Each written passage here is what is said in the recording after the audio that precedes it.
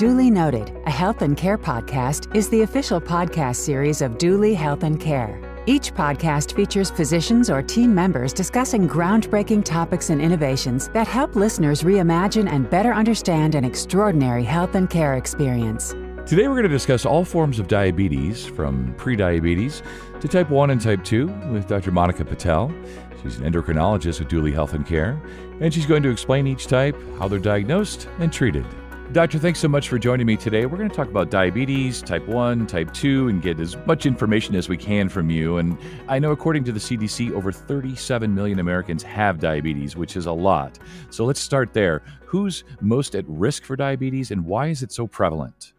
People who are at most risk include adults older than 45, having overweight or obesity, having a family history of type 2 diabetes, such as a parent or sibling being of a high risk race or ethnicity, such as African American, Hispanic, Native American, Asian American, or Pacific Islander, having other health issues such as high blood pressure, high cholesterol, and or polycystic ovarian syndrome, having a history of gestational diabetes, or being physically active less than 3 times a week.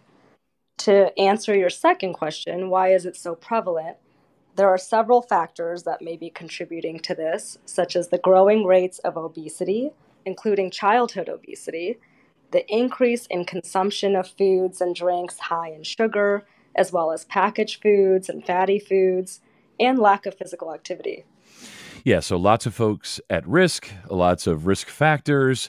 Before we get too far ahead of ourselves here, let's just foundationally the difference between type 1 and type 2 and why is type 2 more common?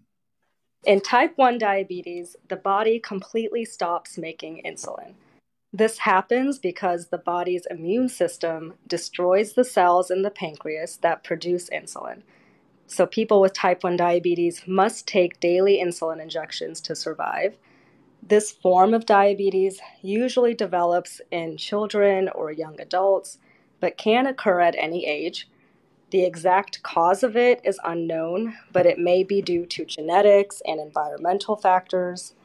In type 2 diabetes, the body produces insulin, but the cells don't respond to it the way they should.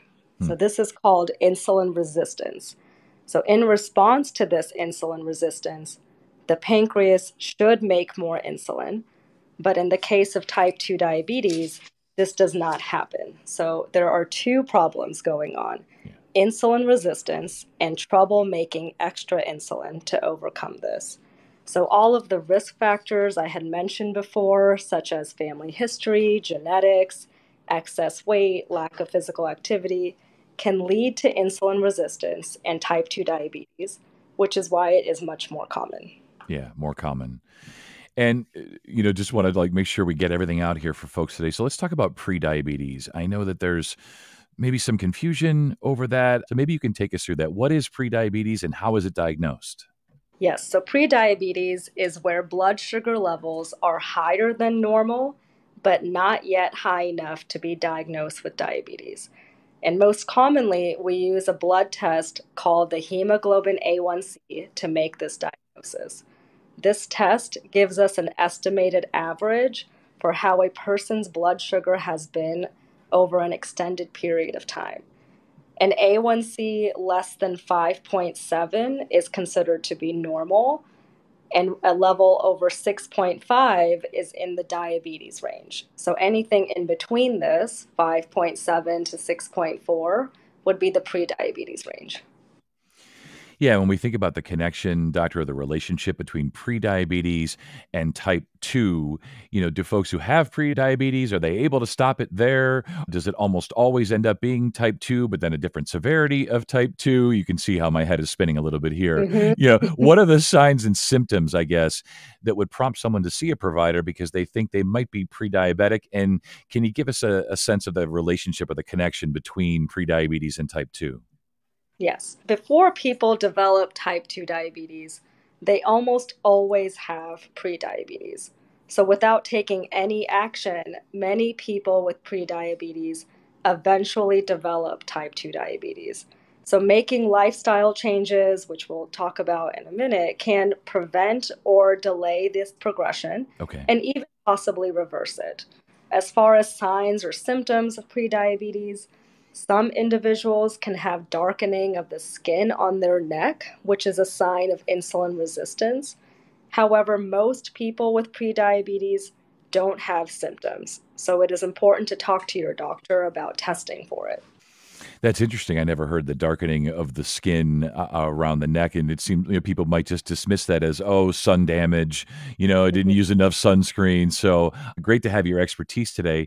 Let's talk about physical activity more. You know, we've talked about uh, genetics and family history. Let's talk about behavior, lifestyle. What can we do to reduce our risk of being diagnosed with type two?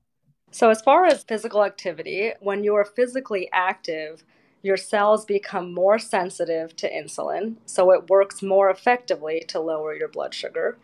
Exercise also helps to burn calories and may help with weight loss, which can further reduce the risk for developing diabetes, especially in those with overweight or obesity.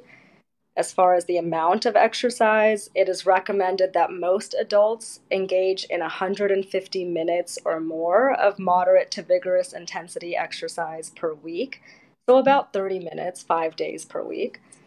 Exercise is also good for health in other ways, such as improving blood flow and blood pressure, increasing energy levels, boosting your mood, and helping with stress management.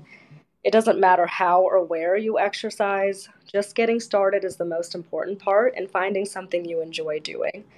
And if you haven't been very active, it's important to start slowly. So, with like light walking. Sure yeah, always good to start slow. Maybe speak with a provider if you've had many decades of sedentary lifestyle. You know, we don't want to jump in too fast.